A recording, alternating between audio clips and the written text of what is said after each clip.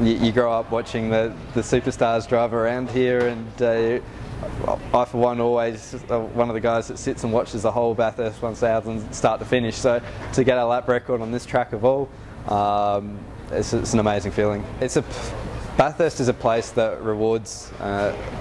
pushing hard and you know especially when you come up across the across the top of the hill when you grab the rev limiter and then uh, just flow it the whole way down and carry the speed. You can feel it right through you and it's an amazing sensation carrying that speed on the on the run down the mountain. There's just nothing like it. The car's just getting better and better and better through the race so um,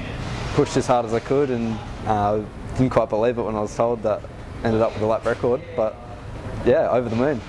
I really have to thank my family for being so supportive of my racing career to date and getting me here this weekend, but also the team. My engineer Stevens just put in the most amazing hours to, as the whole team has, to get the car prepared, and it's a true credit. It shows the engineering capabilities of the team to um, get a car going so fast around around the, the amazing mountains.